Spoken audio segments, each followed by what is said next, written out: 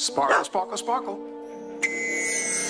I know. You're thinking to yourself, how could any successful actor bring himself to star in a movie that requires him to say the line sparkle, sparkle, sparkle?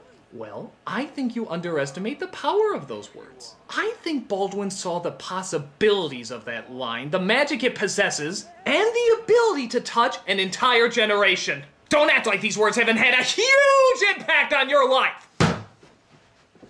Hey!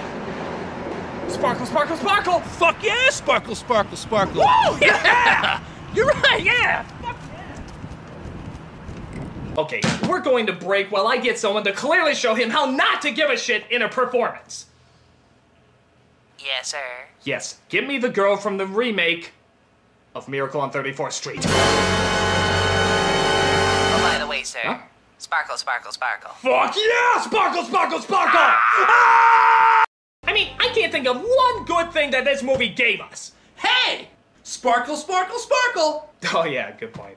I'm the nostalgia critic guy, remember? So you Sparkle, don't have to. sparkle, Fuck sparkle! yeah! Sparkle, sparkle, sparkle! Sparkle, sparkle, man! Sparkle, sparkle, sparkle! That's some shit. Fuck yeah, sparkle, sparkle, sparkle. Sparkle! Sparkle!